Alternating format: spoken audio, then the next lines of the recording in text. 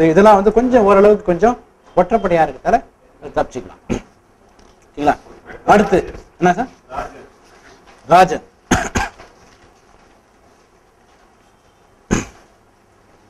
ராஜன் இது இது ஜாதம் சார். இது ஹஸ்பண்ட் ஜாதம் சும்மா கேட்டேன் சார். ஆ ஓகே சார். இது ஜாதகத்தில் ஏழாவது வீடு ராகவாரத்தால அந்நிய மதத்தில் திருமணம் பண்ணுறதுக்கு வாய்ப்பு இருக்கு சார். கேஸ்ட் மாதிரி பண்றதுக்கு வாய்ப்பு நிறைய அதிகம் சார். ஏன்னா ஏழாவது வீட்டு சப்ளாட் ராகவா இருந்து என்னென்ன வீட்டு தொடர்பு கொள்றாருன்னா கேது சனியோட தொடர்பு கொள்றாரு. அதனால ஒரு முறையற்ற அதாவது ஒன்று பெண்ணுக்கு வயசு கொஞ்சம் அதிகமாக இருக்கிற மாதிரியோ அல்லது வேற கம்யூனிட்டி மாதிரியோ ஒரு வித்தியாசமான அதாவது ஒரு மரபு மீறிய திருமணமா இருக்கிறதுக்கு வாய்ப்புகள் அதிகம். அது யார் யாருக்குன்னா ஏழாவது வீட்டு சப்ளாட் ராகுவா இருந்து அது சனி கேது இந்த மாதிரி ராகு கேது சனி ராகு கேது இது வந்து பார்த்தீங்கன்னா மரபு மீறின கிரகங்கள். அதாவது ராகு கேது. இது மரபு மீறின கிரகங்கள்னு பேர். ஏன் அந்த மாதிரி சார் ஆக்சுவலா இது செயற்கை கிரகம். இயற்கை கிரகம் இல்லை. அதனால தான் அந்த லவ் கூட நான் என்ன பண்ணிட்டேன்? மரபு மீறின லவ்னு சொன்னேன். வாழ்க்கைக்கு எவ்வளவு மார்க் போடலாம்னா ஒரு நாற்பது மார்க் போடலாம். ம். அப்படியா அதான் மரபு மீறணும்னு சொல்லிட்டு பார்த்தீங்களா ஆனா அந்த ராகு கேதுன்னு இருக்குதால ஒரு பிரச்சனை. ஆனா இவருக்கு மறுமணம் வரக்கூடிய அமைப்பு நிச்சயம் உண்டு சார். ம். ம், ம். ம் ம் ம் எனக்கு எப்படி தெரியும்னா எங்க அந்த பொண்ணு படிச்சுட்டு இருக்கும்போது போன் வரும் ஆ, கேஸ்ட் கேஸ்ட் வேறையே அப்படி ஆக்சுவலா அவ்வளோதான் சார். அதான் தான் கேஸ்ட் அதாவது மொழி கலாச்சாரம் இதெல்லாம். அதான் மரபுங்கிறது என்னன்னு பார்த்தீங்கன்னா நம்ம ஒரே இனத்தோட திருமணம் பண்றது மரபு சார். அது இன்னும் ஐம்பது வருஷம் வரைக்கும் இருக்கும். ஐம்பது வருஷத்துக்கு அப்புறம் உங்களுக்கு ஜாதி மதம் மொழி இனம் எல்லாத்தையும் நம்ம பின்னாடி வர இளைஞர்கள் எல்லாத்தையும் ஒன்றா சேர்த்துட்டு நல்ல புதிய உலகத்தை உருவாக்குவாங்க. நம்ம கடைசி வரைக்கும் திருந்த மாட்டோம். ஆ சொல்லுங்க சார். ஆ சொல்லுங்க சார். என்னங்க சார்? ஆ இன்னும் ஐம்பது வருஷம் கழிச்சு நமக்கு பின்னாடி வரவங்க அறிவாளிங்க. அவங்க எல்லாத்தையும் விட்டுட்டு நம்ம தான் என்ன பண்ணுவோம்? ஜாதி மதம் மொழி இனம் கலாச்சாரம். ஆ.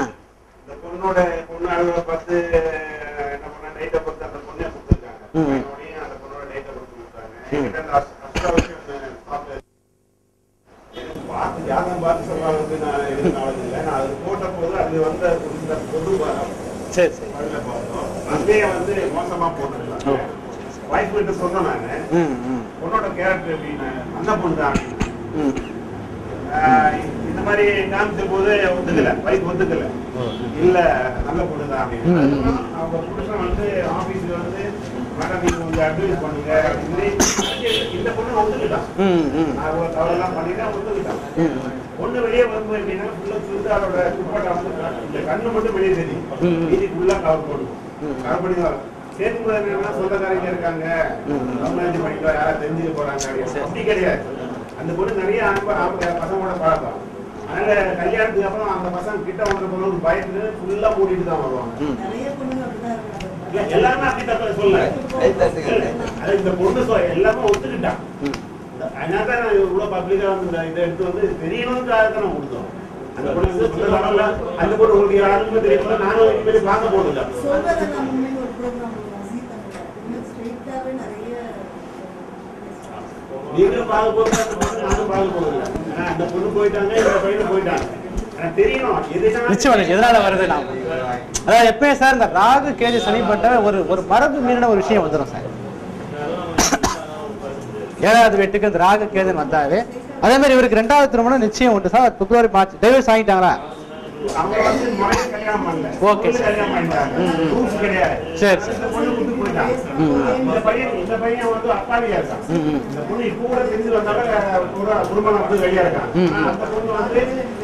ஒரு மா ரெண்டு மாசம் முன்னாடி கூட லீவ் போட்டு வேற ஒரு பையன் கூட மூணு நாள் ஊர் சுத்திட்டு வந்தான் சரி சரி சரி.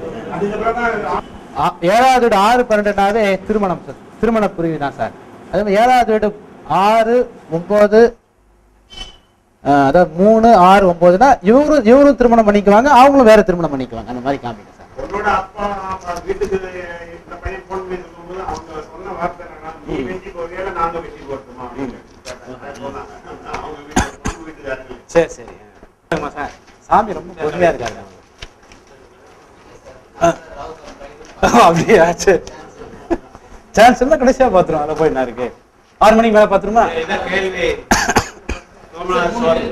Okay sir. Okay sir. ஆன்மீகம் சம்பந்தமான விஷயம் சாமிகளுக்கு எப்படி இருக்கார்? பேரிலே சாமி வச்சிட்டு இருக்காரு அவரு. Okay sir. ஓகே சார் இதுல பார்க்கும்போது ஆன்மீகங்கிறது எந்த பாவம் சார் ஒன்பதாம் பாவம். ஐந்தாம் பாவத்தையும் தேவைப்பட்டா எடுத்துக்கலாம். ஒன்பதுங்கிறது உங்களுக்கு பியூர் ஆன்மீகம் சார் அஞ்சுங்கிறது கொஞ்சம் கலை மந்திர உச்சாரங்கள் அதெல்லாம் வந்துடும் சார் ஆக்சுவலா அதாவது திரிகோண பாவங்கள் ஒரே தன்மை வாய்ந்ததுங்கிறதால இந்த ஒண்ணு அஞ்சு ஒன்பது ரெண்டு ஆறு பத்துங்கிற காரங்கள் ஒண்ணுக்குள்ள ஒண்ணு மிங்கிலாய் மிங்கிலாய் இருக்கும். ம், ம். ஒன்பது தான் வலிமை அதிகம் சார்.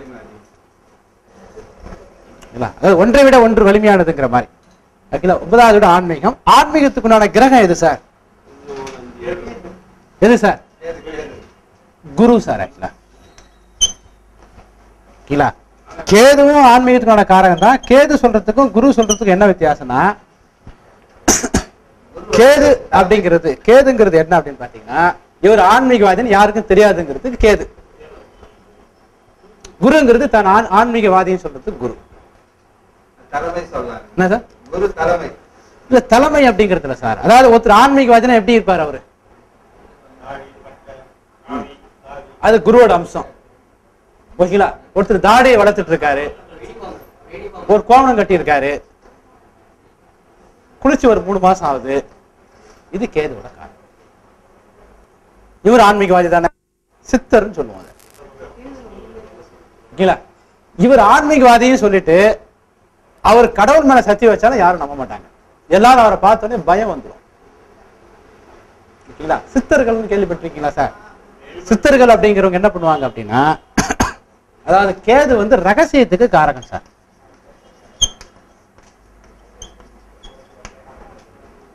கேது வந்து எதையும் சுருக்குதல் அப்படிங்கிறதுக்கு காரகன். தான் யாருன்னு வெளிக்காட்டாம இருத்தல் அப்படிங்கிறது கேதுவோட காரணம் தன்னை சுருக்கி வைத்தல் தன்னை அடக்கி வைத்தல் தன்னை வெளிப்படுத்தி கொள்ளாமல் இருத்தல் உறவினரோட ஒட்டாமல் இருத்தல் அப்படிங்கிறதால இந்த கேதுங்கிறது இந்த மாதிரி விஷயத்துக்கு காரகன். இந்த மாதிரிலாம் யாரும் இல்லை விட்டுருங்க. ஏன்னா பாடி லாங்குவேஜ் பார்த்தீங்கன்னா ஒரு குருவோட அம்சம் தான் கேதுவோட அம்சம் இல்லை. நான் சொல்றது புரியுதா பார்த்தீங்களா அந்த காவி உடை உடுத்திட்டு பட்டை அடிச்சுட்டு இருந்தா குருவோட காரகம். ஏன்னா குருனா என்ன? தூய்மையான. அதாவது சித்தர்கள் என்னன்னு பார்த்தீங்கன்னா உட்கார்ந்து அப்படியே இருப்பாங்க. பாம்பு புத்தாவே மாறிடுவாங்க. சில பாம்புகள் வந்து குடியிருக்கும் இந்த மாதிரிலாம் படிச்சிருப்போம் இல்லையா? இந்த மாதிரி தன்னை வெளிக்காட்டாமல் இருக்கக்கூடியது ஆன்மீகம். ரகசியங்கள் அதிகமாக புரிஞ்சு இருக்கக்கூடியது யாருன்னு எதுவும் சொல்ல மாட்டேன் பேச மாட்டாங்க. இது சித்தர்கள். இது இதுதான் வந்து கேதுவோட அம்சம் சார். ஓகேங்களா? இது வந்து கேது நல்ல நிலையில் இருந்தா கெட்ட நிலையில இருந்தா வஞ்சகம் சூது கடத்தல் இந்த மாதிரி விஷயத்துக்கும் கேது காரகம் தான் வெடிகுண்டு மிரட்டல் மொட்டை கடிதாசி இந்த மாதிரி விஷயத்துக்கும் கேது காரகம் தான் சரிங்களா ஒவ்வொரு இதுலயும் இதுதான் என்ன சொல்றது நம்ம போதை வஸ்துக்களை வந்து நம்ம ராகு கேதுன்னு பிரிக்கும் போது நான் புக்கில் எழுதிருப்பேன் அது இருக்கான்னு தெரியல. கடைசியில ஒரு ஸ்டூடெண்ட் அது வேணான்ட்டாரு. இருக்குன்னு நினைக்கிறேன். ஓரளவுக்கு எழுதியிருப்பேன். ராகுங்கிறது நிறைய குடிச்சிட்டு தெம்பா இருக்குது. நிறைய குடிச்சா போதை இருந்துட்டே இருக்கு. நல்ல தெளிவா நான் நான் குடிச்சிட்டேன் பாருங்க பாருங்க பாருங்கன்னு வெளியில் இருக்கலாம் சண்டை போட்டு எடுக்குது ராகுவோட காரகம் அதாவது பிராந்தி விஸ்கி ரம்மு வேற என்ன சார்? பீரா ஆ எல்லாம். யாருமே இல்லை போல அந்த பழக்கம். சரி ஓகே. எனக்கும் இல்லை மற்றவங்க சொன்னதுதான். ஆனா கேதுங்கிறது கொஞ்சோண்டு எடுத்து லைட்டா நாக்கில் நட்டா சல்லுன்னு ஏறும் அப்படியே. அபின்னு கஞ்சா இது முனிவருக்குன்னு அதை ஃபாலோ பண்ணுவாங்க. முனிவர்களுக்கு ரம்மு கொடுத்தா பிடிக்காது சார். கஞ்சா கொடுத்தா அவங்க நல்லா இழுத்து இழுப்பாங்க. இழுத்துட்டு அப்படியே மோன நிலையில் இருப்பாங்க. நான் புக்கில் எழுதியிருக்கேன் அதை. இருக்கான்னு பார்த்துறேன் நான். நீங்க சொன்ன இல்ல அது அந்த காரகம் சார். அந்த காரகம் வந்து ஆ இங்கே எழுபத்தி ஏழாவது பக்கத்தில் எழுதியிருக்கேன். அதாவது தன்னடக்கத்துடன் இருக்கும் முற்றும் துணிந்த முனிவர்கள் கேதுவின் அம்சமாகும். அதாவது நாங்கள் கஞ்சாங்கத்தில் எழுதின என்னுடைய ஸ்டூடெண்ட் ஒருத்தர் என்ன சொல்லிட்டாருன்னா சார் இது முனிவர்கள் நீங்கள் அவமானப்படுத்துற மாதிரி இருக்கு. நீங்க காமெடி பண்ற மாதிரிலாம் அங்கே புக்கில் எழுதாதீங்க. அது வேற மாதிரி விமர்சனம் ஆயிட்டு இதுக்கு யாருன்னா சண்டைக்கு வருவாங்க. அதனால நீங்க இதை வந்து வேற மாதிரி சொல்லிடுங்க. நான் கஞ்சா அடிச்சுட்டு அப்படியே இருப்பாங்க. அப்படின்னு நான் எழுதினேன். ஏன்னா முனிவர்களுக்கு கஞ்சா அடிக்கிற பழக்கம் இருக்கு. இருக்கா இல்லையா சார்? ஆ, இயற்கை பதப்பொருள் அது வந்து அடிச்சா அது ஒரு மாதிரி ஒரு இது கிடைக்கும் அப்படிங்கிற மாதிரி. என்ன சார்? ஆ, அந்த மாதிரி இருக்கு சார் ஆக்சுவலா அப்ப இவர் இவர் ஜாதகத்துல ஒன்பதாவது வீடு இவர் வந்து கேது அப்படிங்கிறது ஒரு ஜாதகத்துல நல்லா தான் இருக்கு. மூணு ஏழு ஒன்பதுன்னு. குரு அப்படிங்கிறது எப்படி இருக்குன்னா ஒன்னு மூணு ஐந்து ஏழு ஒன்பது பதினொன்னு. இதுல ஆன்மீகத்துக்கு நல்ல அமைப்பு தான் ஆனா அந்த ஆன்மீகத்தை கமர்ஷியல் ஆக்கக்கூடிய திறமை இருக்காது. பாத்தீங்களா? நல்லா இருக்குன்னு சொல்லிட்டு திறமை இருக்காதுன்னு சொல்லிட்டு பாத்தீங்களா? ஏன் அந்த மாதிரி சார்? இதே குரு வந்து ரெண்டு நாலு ஆறு பத்துனா சாமிகள் ஆசனத்துல உட்கார்ந்துட்டு இருப்பாரு. சாமிகள் ஒருத்தர் பார்க்க வருவாரு. சாமிகள் கேட்பார் வரக்கூடிய ஆள் யாரு? வரக்கூடிய மினிஸ்டர் அப்ப வர சொல்ல வர வந்தோடனே நின்னுப்பாரு. தியானத்திலே இருப்பாரு. மினிஸ்டர் வந்து உட்கார்ந்த உடனே சொல்லுங்க சார் எல்லாம் பேசுறாரு. முடிஞ்ச அளவுக்கு பணத்தை கொடுங்க. அப்படின்னாரு. பணத்தை கொடுப்பாரு போவாங்க. சாமி வெளியே கூட்டம் இருக்கு அப்படியா? எல்லாரையும் நிக்க சொல்லு. நான் வெளியில வரேன். அவர் வெளியே வந்து என்ன வேணும்? ஆசீர்வாதம் ஆசீர்வாதமா குங்குமம் எல்லாம் கிளம்பு கிளம்புங்க. சாமி உங்ககிட்ட பேசுறேன் நான் பிஸியா இருக்கேன். உட்காந்து only service for royal people இதுதான் ரெண்டு நாலு ஆறு. உதாரணத்துக்கு சொல்லுவா யாருன்னா நீங்களே புரிஞ்சுக்கீங்க. ஆனா அதே நேரத்துல இந்த மாதிரி குரு இருக்கிறவங்க ஒரு ஆன்மீக ஸ்தலத்தை உரு பண்ணுவாங்க கோயிலை கட்டுவாங்க ஒரு ஒரு நிர்வாகத்தை பண்ணுவாங்க ஒரு தர்மஸ்தானத்தை ஏற்படுத்து ஏற்படுத்துவாங்க. ஒரு பெரிய கட்டுமானத்தை உருவாக்குவாங்க. ஒரு பெரிய நிர்வாகம் கட்டுமானத்தை எல்லாம் உருவாக்கி அதை ஒரு ஒரு தலைமுறைக்கு நினைஞ்சு வைப்பாங்க. ஆனா கொஞ்சம் service mind only for service to royal people ஓகேங்களா இந்த மாதிரி இருக்கிறவங்க என்ன பார்த்தீங்கன்னா பணம் சம்பாதிக்கிற வழி இருக்காது. அவங்க ரிலாக்ஸாக தான் இருப்பாங்க. ஓகேங்களா இந்த மாதிரி சாமியார்கள் வந்து நவீன காலத்து சாமியார்கள். ஓகேங்களா? இவங்களுக்கு கார் இருக்கணும். ஓகேங்களா? அதாவது சாமியாருங்கிறது எந்த பாவம்னா ஒன்பதாவது பாவம் சார். ஒன்பதாவது பாவத்தை கெடுக்கிற பாவம்னா நாலாவது பாவமும் ஒரு பாவம் தான். எப்போ ஒரு சாமியார் வாகனத்துல போறாரோ அப்ப அவருடைய இன்ட்யூஷன் போயிடும். கேள்விப்பட்டிருக்கீங்களா? பழைய காலத்து சாமியார் நடந்து தான் போவாங்க. என்ன சார்? ஆ, இப்போ இருக்கு. ஏன்னா அந்த நாலாவது பாவத்தை யூஸ் பண்ண உடனே மூணாவது பாவம் என்பது நடைபயணத்தை குறிக்கக்கூடியது. நடைபயணம் அப்படிங்கிறது மூணாவது பாவம். நடைபயணம் என்பது நாலாவது பாவத்தை க்ளோஸ் பண்ணக்கூடிய பாவம். அதே மாதிரி நல்ல சாமியாரா கெட்ட சாமியாரான்னு பாடி லாங்குவேஜ்ல கண்டுபிடிச்சிடலாம் சார். யார் யாருக்கெல்லாம் உடல் பருமன் அதிகமா இருக்கோ அவங்க நல்ல சாமியாரா இருக்க மாட்டாங்க. யாரும் கோச்சிக்காதீங்க சார். நாலாவது பாவங்கிறது கமர்ஷியல் ஆஸ்பெக்ட் அதில் லீனாக இருக்காங்க பாருங்க. அவங்களுக்கு இனி லீனா இருக்குது எந்த பாவம் சார்? மூணாவது பாவம். நீங்க எல்லா சாமியாரும் ஒன்று ஒன்றா வாட்ச் பண்ணு ரமண ரமண மகரிஷியை பாருங்க. வேற யார் சார்? பழைய சங்கராச்சாரியரா? பழையவரா? மகா பெரியவரா? எப்படி இருந்தாரு? நடந்து தானே போனாரு? ஓகேங்களா? இந்த மாதிரி சில ரூல்ஸ் அண்ட் ரெகுலேஷன்லாம் இருக்கு. அந்த வகையில் இவர் ஜாதகத்தில் ஒன்பதாவது குரு ஓகே கேது ஓகே ஒன்பதாவது பாவமும் நல்லா இருக்கு. நல்ல ஆன்மீக சம்பந்தமானதுல நல்லா ஷைன் பண்றதுக்கு உண்டான ஒரு வாய்ப்பு ஜாதகத்துல நல்லா வலுவா இருக்கு. அதை கமர்ஷியல் ரீதியாக எடுத்து செல்ல முடியாது. நல்ல மக்கள் ஆதரவு நல்ல இது இது எல்லாமே நல்லா வலுவா இருக்கு. ஓகேங்களா? ஆனா லக்ன கொடுப்பன என்ன அப்படின்னு பார்த்தீங்கன்னா ஒரு ஜாதகத்துல நாலு ஆறு எட்டு பன்னெண்டுன்னு தொடர்பு அதனால தன்னந்தனியா ஒரு தியரியையோ தன்னந்தனியா ஒரு இதுவோ உருவாக்க முடியாது. யாரோ ஒருத்தரை ஒரு ரோல் மாடலா எடுத்துட்டு அதுல இருந்து டெவலப் பண்ணக்கூடிய ஒரு அமைப்பா யாரோ ஒரு விஷயத்த ரோல் மாடலா எடுத்துட்டு அதை மாதிரி பண்ற மாதிரி இருக்கும். ரெண்டாவது வாழ்க்கையில நிறைய கஷ்டங்களும் சங்கடங்களும் இருக்கும். ஏன்னா சாமியார்களுக்கு மட்டும் எட்டு பன்னெண்டு வரக்கூடாது சார். இந்த அக வாழ்க்கைன்னு சொல்ற பாருங்க ஐந்து ஒன்பது காரகம் சொல்லக்கூடிய கலைத்துறை ஆன்மீக துறையில் இருக்கிறவங்களுக்கு மட்டும் எட்டு பன்னெண்டு வந்தா அவங்க ரொம்ப சலு ரொம்ப ஸ்டைல் இருக்காங்க ஒரு ஒரு முரட்டு சுபாவமா ஒரு ஒரு ஹார்ட் ஒர்க் பண்றவங்க எட்டு பன்னெண்டு வந்து அதை சமாளிப்பாங்க. ஆனா மென்மையான கேரக்டர்ல இருக்கிறவங்க எட்டு பன்னெண்டு வந்து அதை சமாளிக்கிறது கொஞ்சம் கஷ்டம். ஓகேங்களா இது லக்ன கொடுப்பினே கொஞ்சம் வீக் தான். இந்த ஜாதகத்துல பாத்தீங்கன்னா என்னென்ன கிரகம் நல்லா இருக்குன்னா எந்தெந்த கிரகம் இந்த இந்த ஜாதகத்துக்கு ஆன்மீக துறைக்கு நல்லா இருக்கும் சார். ஆன்மீக துறைக்கு. சூரியன்ல இருந்து வாங்க. சூரியன் செவ்வாய் புதன் குரு சுக்கரன் கேது. இந்த கிரகம் ஆன்மீக சம்பந்தமான துறைக்கு நல்லா இருக்கும். அதே நேரத்தில் சந்திரன் சனி ராகு இந்த மூணு கிரகம் ராகு கூட ஓரளவுக்கு பரவாயில்ல.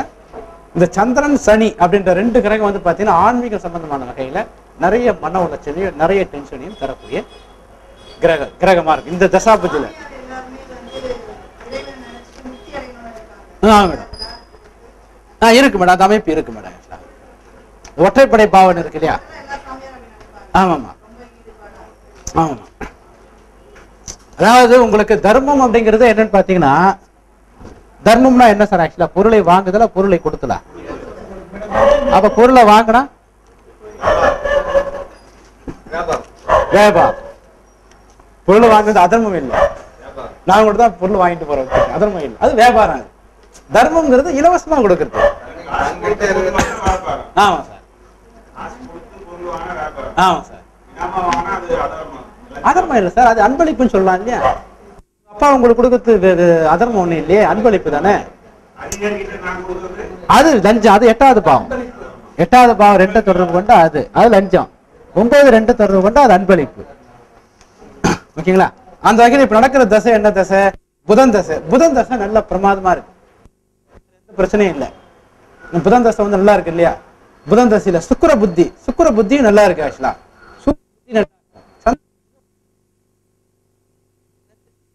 தலையில ஒரு பிரச்சனை இருக்குது வாய்ப்பு இருக்கு.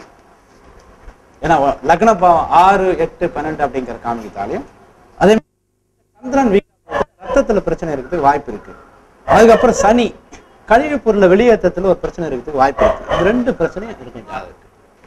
ஏன்னா சந்திரன் அப்புறம் சனி இந்த ரெண்டு கிரகம் வீக்கா போட்டு சந்திரன் ஏற்கனவே சொன்னோம் இல்லையா நானு? சந்திரன் எதுக்கு காரகம் சொல்லுங்க சார் நான் சொன்னேன் நானு. ரத்தம் சொல்றேன். அப்ப ரத்தத்துல சத்து பற்றாக்குறை அது சம்பந்தமான பிரச்சனைகள் அப்படிங்கிறது இருந்துட்டு இருக்கும். அதே மாதிரி சனிங்கிறது கழிவு பொருளை உடம்புல இருந்து வெளியேற்றத்துல ஒரு பிரச்சனை இருக்கும். அதே மாதிரி கால் பகுதி கொஞ்சம் பலவீனமா இருக்கும். கால் பகுதியில் அடிக்கடி அடிபடுறது. ஏன்னா சனி வந்து காலுக்கு காரகம். ஓகேங்களா? மந்திர மந்திர புத்தியும் கேது புத்தியும் சாரி சனி புத்தியும் ராகு புத்தியும் கொஞ்சம் பிரச்சனை கொடுக்குற புத்தியா இருக்கும். மீதி புத்திலாம் சமாளிக்கலாம். பெரும்பாலான கிரகம் நல்லா இருக்கு. அதே நேரத்துல ஜாதகருக்கு ஐந்தாவது வீடு ஏழாவது வீடு. ஏழாவது வீடு இப்போ திருமணம் வாய்க்கலாம் எப்படி சார் இருக்கு இவருக்கு? நல்லா இருக்கா? காமிச்சிச்சா? நாலு ஆறு எட்டு பன்னெண்டு காமிச்சிச்சு இல்லையா? அதுக்கப்புறம் அஹ், வந்து அது நல்லா இருந்தாலும் கூட லக்ன கொடுப்புனையும் நாலு ஆறு எட்டு பன்னெண்டு காமிச்சிச்சு. அப்ப என்னன்னு பாத்தீங்கன்னா அந்த மன வாழ்க்கை இந்த மாதிரி விஷயங்கள்லாம் நிறைய ஒரு நிறைய ஸ்ட்ரெயின் இருக்கு. அதனாலதான் என்ன திருமணம் ஆகலாம் சொன்னீங்க இல்லையா? சன்னியாசி அவ்வளவுதான் சார். நாங்க நம்ம வயசு அந்த மாதிரி இல்லையா? ஆ சொல்லுங்க. ம் சொல்லுங்க.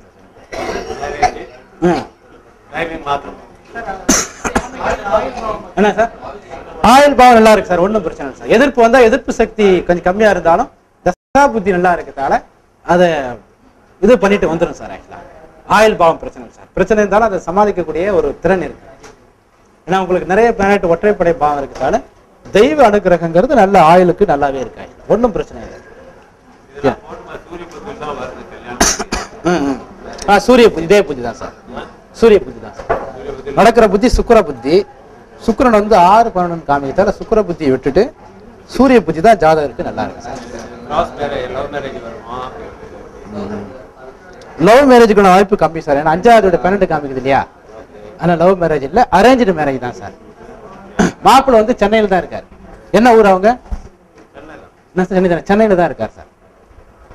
ஓகேவா? சரிங்க சார் இந்த மூணு டைம் ஆச்சு சார் ஆ ஓகே சார் இந்த மூணு நாலு கிளாஸ் பத்தி உங்கள் கருத்து சொல்லுங்க. அதுக்கு முன்னாடி சாரு கிட்ட பர்மிஷன் கேட்டு உங்க அட்ரஸ் இவங்க அட்ரஸ் வாங்கிக்கலாமா சார்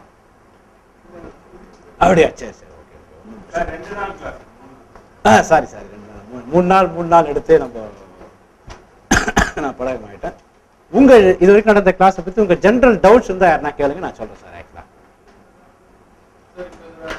ஆ ராகு காலம் என்ன கட்டலாம் பார்ப்பாங்க சார் அதெல்லாம் வந்து பார்த்துட்டு இங்கேயும் இருக்கு சார். நம்ம ஜாதகத்தில் எட்டாவது வீட்டுக்கு சப்ளாடு யாரோ? ஓகேங்களா? அதாவது இங்க திரும்பவும் சொல்றேன் இங்க பொது விதிங்கிறது கொஞ்சம் அப்ளிகேஷன் பண்ணுறதில்ல சார். ராகு காலம்ங்கிறது ஒரு பொருளை ஒருத்தர் விற்கிறார் ஒரு பொருளை ஒருத்தர் வாங்குறார். யாருக்கோ ஒருத்தர் நஷ்டம் யாருக்கோ ஒருத்தர் லாபம். இதான தேரி ரெண்டு பேரும் நஷ்டம் அடைஞ்சிருவாங்களா இல்லை இல்லையா அப்போ ஒரு வியாபாரமோ ஒரு இதுவோ பண்ணும்போது ரெண்டு கலந்த மாதிரி தான் இருக்கும். அப்போ ரெண்டு பேருக்கு நஷ்டம் ரெண்டு பேருக்கு லாபம் அப்படிங்கிறதுலாம் இல்லை. அதனால நம்ம ஜாதகத்துல எட்டாவது வீட்டு சப்ளாடு யாருன்னு பாருங்க. பன்னெண்டாவது வீட்டு சப்ளாடு யாருன்னு பாருங்க. இது எட்டாவது வீட்டு சப்ளாடும் பன்னெண்டாவது வீட்டு சப்ளாடும் யாருக்கு என்ன கிரகம் இருக்கோ அதனுடைய நட்சத்திரம் வரும்போது எட்டாவது வீட்டு சப்ளாடும் பன்னெண்டாவது வீட்டு சப்ளாடும் நம்ம ஜாதகத்தில் யாருன்னு பார்த்து அதனுடைய நட்சத்திரம் எப்போ வருதோ அந்த காலகட்டங்கள் இயற்கையாகவே நம்ம மனசுக்கு வந்து ஒரு சங்கடங்கள் சலிப்புகள் இருக்கு சார். அதாவது சந்திரன் அப்படின்ற கிரகம் மனோகாரகம்னு சொல்லுவோம். சந்திரன் வந்து ராகுவோட சாரத்துல போறாருன்னு வச்சுக்கீங்களேன். திருவாதிரை நட்சத்திரத்திலயோ சுவாதி நட்சத்திரத்திலயோ சதய நட்சத்திரத்திலயோ போறாருன்னா இது எட்டாவது வீடுன்னு சொல்லுவோம் நம்ம இங்க. எட்டாவது வீடு சப்ளாடுன்னு வச்சுக்கங்களேன். அப்ப சந்திரன் மனோகாரகனா இருக்கால அந்த நேரத்துல ஒரு பிரச்சனையை தரும். இது எப்ப பிரச்சனை தரும்னா சந்திரன் ராகுவோட ஸ்டார்ல ராகுவோட சப்ல ஒரு நாலு மணி நேரம் போவார் தோராயமா. இந்த நாலு மணி நேரம் நேரத்துல வந்து ஜாதகருக்கு மன உளைச்சல் டென்ஷன் படபடப்பு இந்த மாதிரி விஷயங்கள்லாம் இருக்கு சார் actually. இதுக்கப்புறம் அடுத்து வரக்கூடிய இந்த ராகு ஸ்டார் இருக்கக்கூடிய அந்த ஒரு நாள் ஃபுல்லாவே கொஞ்சம் மன உளைச்சல் டென்ஷனா இருக்கும். இருந்தாலும் எப்ப அதிகமா இருக்குன்னா சந்திரன் ராகுவோட ஸ்டார்ல ராகுவோட சப்புல போகக்கூடிய அந்த நாட்கள் அதிகமா இருக்கு. இதுதான் வந்து நாங்க பஞ்சாங்கம் மாதிரி இங்க போட்டிருக்கோம் சார். அது தேவைப்படுறவங்க வாங்கிக்கலாம். அடுத்து இப்போ இந்த வருஷம் பஞ்சாங்கம் இல்லை. அடுத்து ரெண்டாயிரத்தி பதினஞ்சு இன்னொரு அடுத்த ஒரு நாற்பது நாள் கழிச்சு வரக்கூடிய அந்த வருஷத்துக்கு பஞ்சாங்கம் போட்டிருக்கோம். இதுல உங்க ஜாதகத்தை பார்த்துட்டு எட்டாவது விட்டு சப்ளாட் யாருன்னு பார்த்துட்டு அதுக்கு தகுந்த மாதிரி உங்க உங்க காலகட்டத்தை நிர்ணயிச்சுக்கலாம். உதாரணத்துக்கு இந்த ராகோட ஸ்டார் இன்னைக்கே ஒரு முக்கியமான விஷயத்தை நீங்க பார்க்கணும்னு விருப்பப்படுறீங்க அப்படின்னா இதுல எந்த பிளானட் ஏழாவது வீட்டை காமிக்குதோ அதனுடைய சப் வரக்கூடிய நேரத்துல நீங்க பாத்தீங்கன்னா கொஞ்சம் நல்லா இருக்கும் ஆக்சுவலா அதனுடைய சப்பு வரக்கூடிய நேரத்துல நீங்க பாத்தீங்கன்னா நல்லா இருக்கும். உதாரணத்துக்கு சனிங்கிறது ஏழாவது எட்டு சப்ளாடுன்னு வச்சுக்கோங்களேன். அந்த நேரத்தில் இந்த ராகோட பலன் வந்து கட்டுப்படும். அப்போ இது ஒரு நாலு மணி நேரம் இருக்கும். இந்த நாலு மணி நேரத்தில் நம்ம கொஞ்சம் ஓரளவுக்கு கொஞ்சம் ரிலாக்ஸ் ஆகிடலாம் ஓகேவா இந்த மாதிரி பண்ணக்கூடியதான் சார் இதில்? கோச்சாரம் அப்படிங்கிறது. அதாவது தினப்பலன் அப்படின்றது ஓகேங்களா இது வந்து நான் இந்த விதி இந்த கொடுப்பனை தசாபதி புக்கில் அநேகமாக பதினேழாவது ரூலில் நான் எழுதிப்பேன் நான். பதினேழு பதினெட்டாவது ரூல்ல இந்த கான்செப்ட் எழுதிருப்பேன் சார் அப்புறம் வேற என்ன டவுட்ஸ் இருந்தாலும் கேளுங்க சார் உங்களுக்கு. சொல்லுங்க. சார் ஆ. ம் ம். உங்களுக்கு நடக்கிற பலன் உங்க ஜாதகத்தை பொறுத்தும். ஒய்ஃபுக்கு நடக்கிற பலன் அவங்களுக்கு வரும். அதாவது என்னன்னா நம்ம லைஃப்பை வந்து ரெண்டு வகையா பிரிக்கலாம் சார். அகம் சார்ந்த வாழ்க்கை புறம் சார்ந்த வாழ்க்கை ஓகேங்களா? பெண்களோட ஜாதக அமைப்பு எல்லாமே அகம் சார்ந்த வாழ்க்கையா போகும். பெண்களுக்கு ஆறாவது பாவம் தான் அவங்களுக்கு நோய் வரும். ஆண்களுக்கு ஆறாவது பாவம் தான் அவனுக்கு வேலை கிடைக்கும். கடை வரும். மற்றவங்க கூட அவங்க சண்டை போடுவாங்க. இதே பெண்களுக்கு ஆறாவது ஆப்ரேட் ஆகும்போது அவங்களும் சண்டை போடுவாங்க மற்றவங்க கிட்ட. ஒரு ஒரு ஆளுமை இருக்கும். இது ஆணுக்கும் பெண்ணுக்கும் அந்தந்த சூழலை தகுந்த மாதிரி. ஓகேங்களா? இந்த ஆறாவது பாவங்கிறது கடனையும் கொடுக்கும் நோயும் கொடுக்கும் அது அந்தந்த வாழ்க்கை சூழலுக்கு தகுந்த மாதிரி நம்ம எடுத்துக்கணும் சார் ஓகேங்களா? உதாரணத்துக்கு ஒருத்தர் சொத்து வாங்க போறாரு. ஒரு ப்ராப்பர்ட்டி வாங்கலாம்னு அவர் நினைச்சிட்டு இருக்காரு. ஒரு புத்தி வந்து ஆற காமிக்குதுன்னு வச்சுக்கலாம் சார். அவர் ஒரு கிரவுண்ட் லேண்ட் வாங்கலாம்னு நினைக்கிறாருன்னா இந்த புத்தி ஆறாவது கிட்ட காமிச்சிச்சுன்னா அவர் ரெண்டு கிரவுண்ட் வாங்குவார். ஏன் ஏன் ஏன் அந்த மாதிரி சார்? நான் சொல்றது புரியுதா பாருங்க? ஒரு புத்தி ஆறாவது கிட்ட காமிக்குது அவர் லேண்ட் வாங்க போறாரு. இந்த லேண்ட் வாங்கும்போது லேண்டுங்கிற லேண்ட் வாங்குறது எந்த பாவம் சார்? நாலாவது பாவம். ஒரு கிரவுண்ட் வாங்குறது ரெண்டு கிரவுண்டா வாங்குவார். ஏன்னா அது ஆறாவது வீடுங்கிறது நாலாவது வீட்டுக்கு மூணாவது வீடு. ஒரு பாவத்துக்கு மூணாவது வீடு என்பது அந்த பாவத்தை மல்டிபிள் இதுல பண்ணும் சார் அந்த பாவத்தை மல்டிபிள் எஃபெக்ட்ஸ்ல பண்ணும். ஆ sir okay sir okay sir okay sir ஆ எஸ் சார்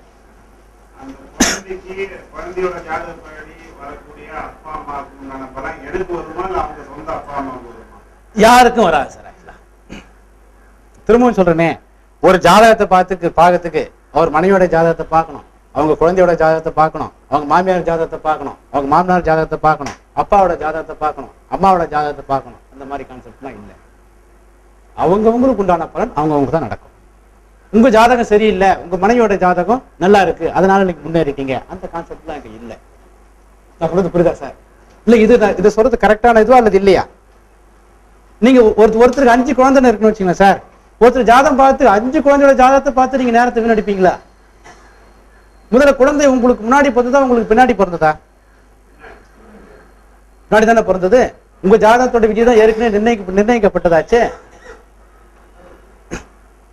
இல்ல அதாவது நீங்க ஜோதிடம் என்பதை உணர்ச்சி ரீதியா பார்க்காம அறிவு ரீதியா பார்த்தீங்கன்னா நிறைய விஷயத்தை நீங்க புரிஞ்சுக்கலாம். உணர்ச்சி ரீதியா என்னன்னு பார்த்தீங்கன்னா என்னுடைய மனைவி வந்ததால் தான் நான் டெவலப் ஆகினேன் இருக்கும். ஜாதகத்துல ஏழாவது வீடு யார் யாருக்கெல்லாம் ரெண்டு நாலு ஆறு பத்து தொடர்பு கொள்கிறதோ சுக்கரன் யார் யாருக்கெல்லாம் ரெண்டு நாலு ஆறு பத்து தொடர்பு கொள்கிறதோ அவங்களுக்கு திருமணத்துக்கு பிறகு மனைவியால வருமானம் உண்டு. அது அவருடைய ஜாதகத்துல விதி. மனைவி வந்ததால அந்த விதி மாறல. ஒரு ஜாதகத்துல ஏழாவது வீடு ஐந்து ஒன்பது சுக்கரன் வந்து ஐந்து ஒன்பது அப்படின்னா நீங்க யாரை திருமணம் மனைவி வந்து நீங்க யாரை திருமணம் பண்ணாலும் நீங்க ஒரு லட்சம் ஜாதகத்தை நீங்க அனலைஸ் பண்ணாலும் மனைவி மூலமா ஒரு சிங்கிள் பைசாவோட கிடைக்காது. புரிதா பாருங்க? ஏன்னா இங்க சுக்கிரனும் ஏழாவது வீடும் எல்லாம் வந்து கமர்ஷியல் பாவத்தை காமிக்கல. கமர்ஷியலுக்கு எதிரான பாவத்தை தான் காமிக்குது. ஆனா கணவன் மனைவி உறவு நல்லா இருக்கும். ஆனா அங்க அதன் ரீதியா வருமானங்கள் எதுவும் வராது. ஓகேங்களா இப்ப மனைவி ரீதியா வருமானம் வந்தது. குழந்தை ரீதியா வருமானம் வந்தது அப்படி இல்லை.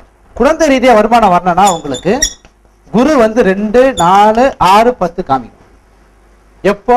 குழந்தை பெரியனாயிட்டு அவன் உங்களுக்கு சம்பாதிச்சு பணம் தருவான். குழந்தை ஒரு வயசுல இருக்கும் போதே பணம் வருங்கிறதுலாம் எடுத்துக்கூடாதீங்க. நான் சொல்றது புரியுதா சார் ஆக்சுவலா?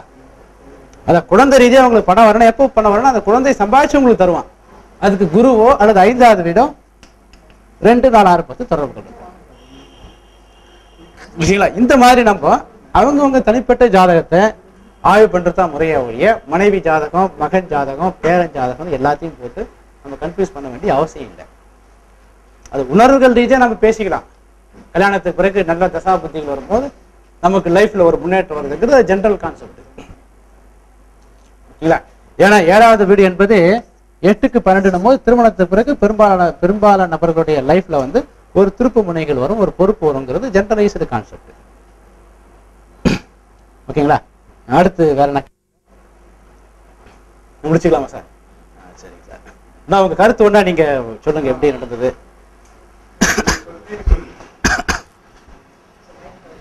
ஆ சார் மைக் அவரும்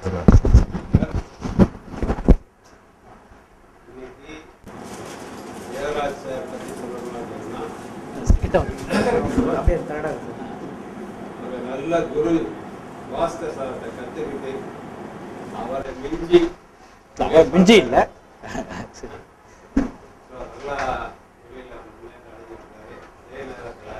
இன்னைக்கு இருக்கிற ஜோதிடர்களை வந்து அவ்வளவு சுலபமா கற்றுக்க விட மாட்டாங்க. பல விஷயங்களை மறைச்சிட்டு அதை வகையாக தான் சொல்லி தருவாங்க. மாறி பார்க்கும்போது நம்ம சார் ஜோதிடர் அதே மாதிரி சார் பத்தி சொல்லணும்? இது மாதிரி எந்த ஜோதிடரும் எந்த இன்ஸ்டியூட்டுமே கேட்டு சிஸ்டத்தை வந்து இன்ட்ரடியூஸ் பண்ணி அதை பற்றி பெருமையாக சொல்ல மாட்டாங்க. ஏன்னா இந்த சேனல் உங்களுக்கு பிடிச்சிருந்தா இந்த டாபிக் உங்களுக்கு பிடிச்சிருந்தா லைக் பண்ணுங்கள் ஷேர் பண்ணுங்கள் கமெண்ட் பண்ணுங்கள் இந்த மாதிரி புதிய புதிய ஜோதிட தகவல் உங்களுக்கு வேணும்னா முக்கியமாக சப்ஸ்கிரைப் பண்ணுங்கள்